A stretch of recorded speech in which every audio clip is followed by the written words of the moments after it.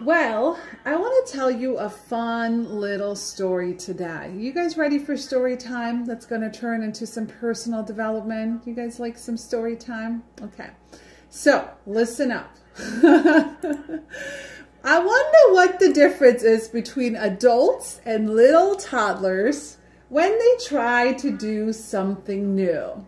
Hmm, what could that be? What is it different? What do you think would be different if like a little toddler I'm trying to not say too much, but a little toddler tries some new activity and a adult tries a new activity. Like, what is the difference? Hmm, fear. You guessed it. Well, I have literally just experienced that side by side for the last eight weeks. And I was like, when this phase is over, I'm going to train on this because it was like, I've never seen it as crystal clear as I have as when Gigi decided she wanted to learn how to ice skate. okay, and I'm gonna put Gigi in the adult category and not in the little toddler category. So I'm gonna show you a picture. Okay, so this is what I've been staring at every Saturday for the last eight weeks. On the right side, we have these little, maybe six below, okay? Anywhere from six, to like two to six year olds, maybe three to six year olds, these little fearless kids. And on the right side, you have the like 10 plus and adults preteens, like you have all those people. So for eight weeks, I have been watching this and I'm like, I know exactly what the problem is, okay?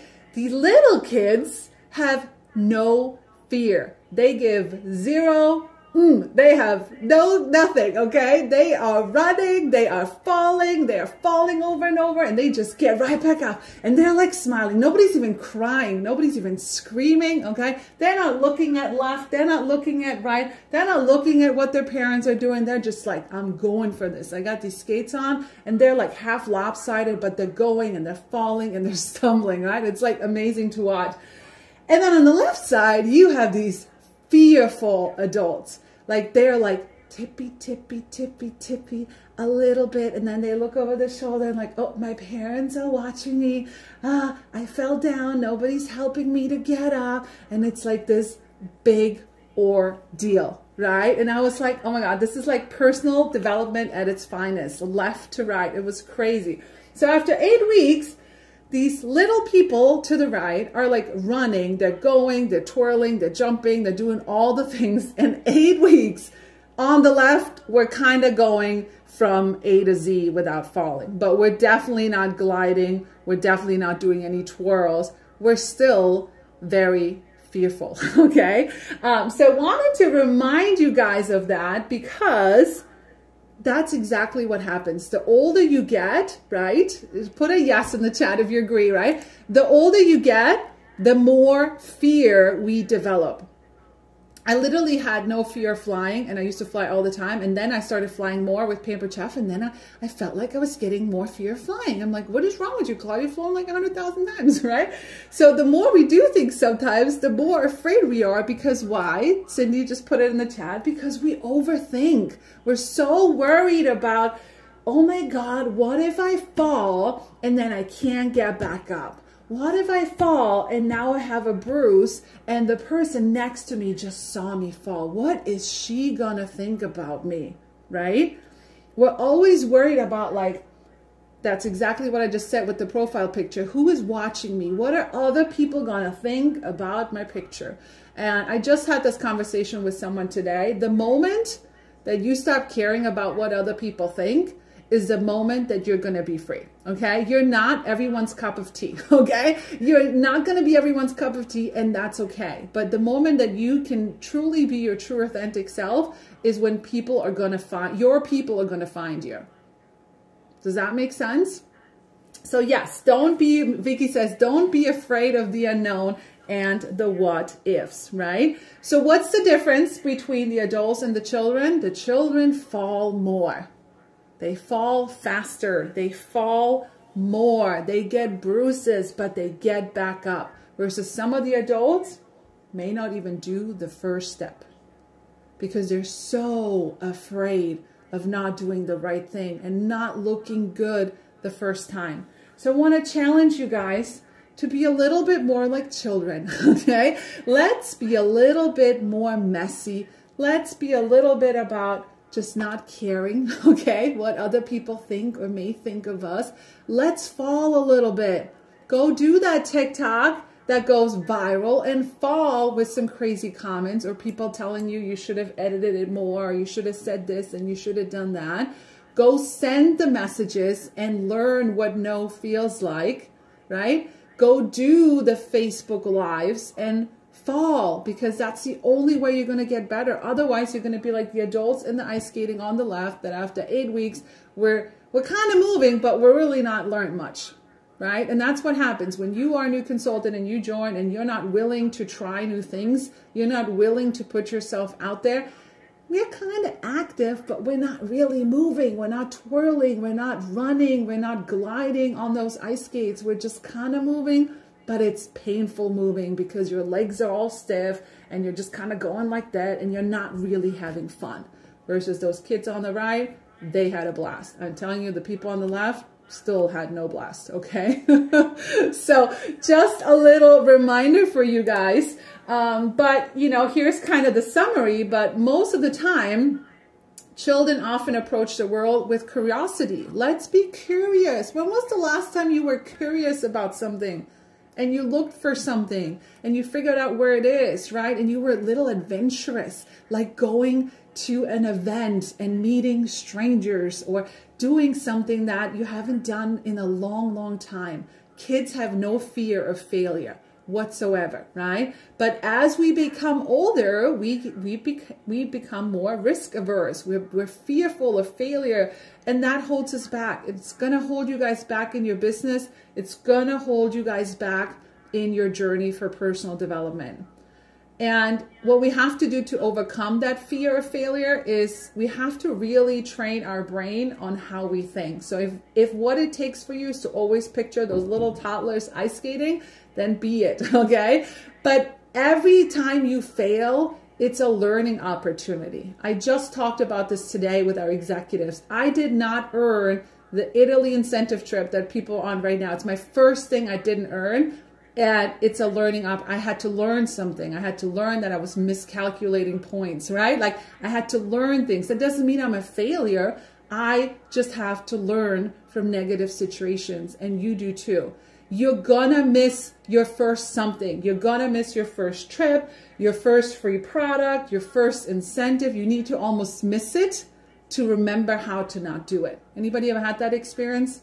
Right? You're like, oh, shoot, I didn't know it was supposed to be blah, blah, blah, blah, blah. I could have gotten it if I knew. Guess what? You're not making that mistake ever again, right? You learn that. So really retrain your brain, focus on the process of working towards your goals rather than the outcome. We always say divorce yourself from the results. We said this in booking bootcamp the other day. I don't care how many parties you book. I care that you learn how to book parties, okay? Because I know if you learn the system and you do it over a long period of time, you're gonna get the result, right results. Okay. Um, enjoy the journey. It's a long journey. It's a windy journey. It's an up and down journey. It's like a roller coaster. Just don't get off the roller coaster. Okay. Did you hear me? Do not get off the roller coaster. It's going to go up. It's going to go down. It's going to spin you upside down. Sometimes you're high. Sometimes you're low. It's part of the journey. Do not get off the roller coaster and work on developing the courage. Be a little bit more courageous. When's the last time you said yes to something? Yes, you know what? I have no idea who these people are, but I'm gonna go to conference because they told me that's the best thing ever. I have no idea what what you know what how to go on Facebook Live. I'm gonna figure it out and I'm gonna do it. Right? That's what you need. You need to be a little bit more courageous.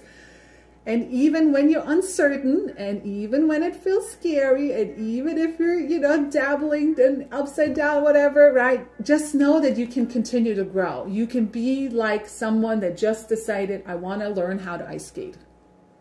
I want to learn how to swim. I want to learn how to ride a bike. You're not going to get there in just a few days, right? So, what are the action steps you can take to become a little bit less fearful, okay? To be a little bit more like a little child and maybe bring some of that back, right? Uh, I think just we forget what it's like, right? And those of you guys that are grandparents, those of you guys that have kids, watch your kids you would never when they when they come to you and they say hey mom i want to play you know i want to play soccer but i don't think i'm going to be really good at it like What, what do you think? Should I do it? What would you say? What do you say? I don't know. I'm not going to be good at it, mom. Like, I don't know if I should sign up for it. I'm probably going to suck. What do you tell them Yeah. And Jay says, let's try it. Absolutely. Try. Try, my child. Go for it. What's the worst that can happen? But why is it that when we as adults, we don't tell ourselves that?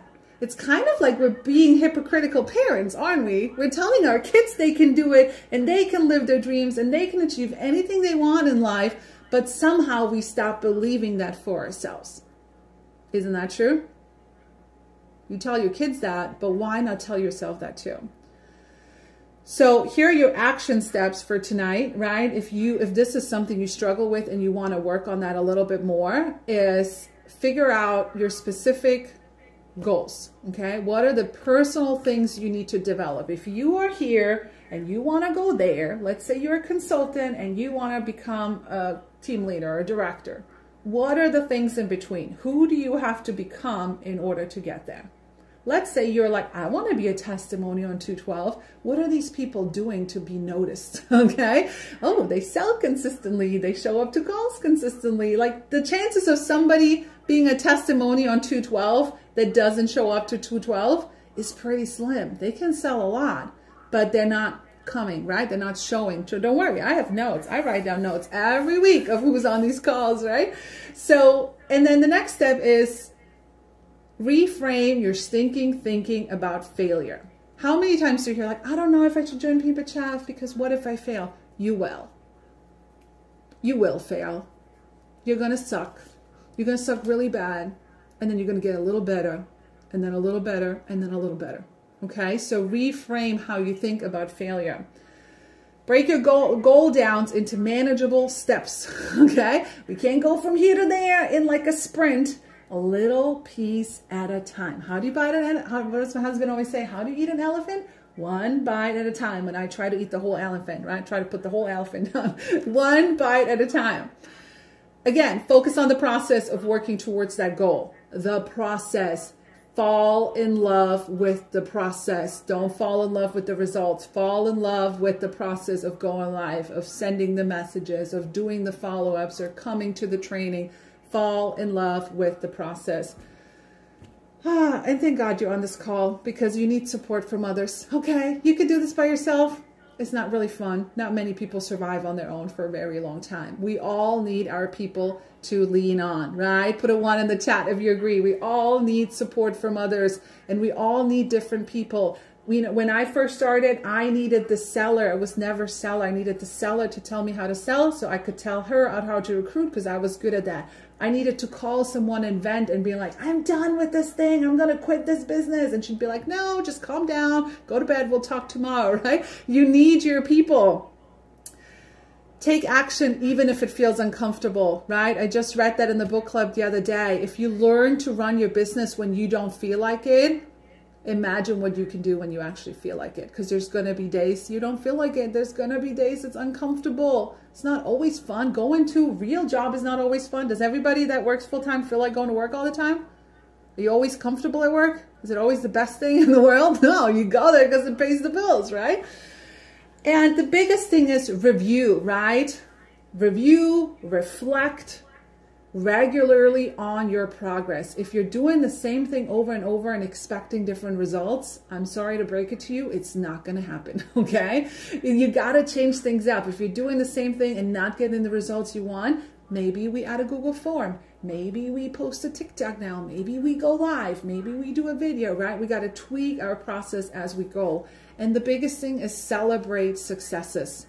Reward yourself. I don't care if it's a a Snickers bar. I don't care if it's you take the whipped cream and you go and put it in your mouth. I don't care if it's the wine. I don't care if it's the coffee. But please, please, please take care of yourself and reward yourself in the process. Okay. Um, that is, it's kind of, we're going back to the toddler thing, right? Oh, you went poopy the potty. Here's an M&M, right? We, we, we do all those things for our children, but somehow we forgot forget to do them for other for yourself we give so much to how many of you guys are moms here right put moms in the chat we give so much for others and we forget to take care of ourselves what do they say on the airplanes oxygen mask on yourself first before you can give to others, right? So sometimes I think as moms need a little bit of reminders and grandmas and dads, you too, right? Whoever is on tonight. So I challenge you this week to be a little less fearless. Go out in the world, be a little less fearless and be like, what would a little toddler do? Would they care about this or would they just run? Would they put their ice skating shoes on and just go and fall and trip so they can get better? Okay, so if you're ready to become a little bit less fearless, put fearless in the chat. But I wanted to give you guys just a couple of tips um, about that. And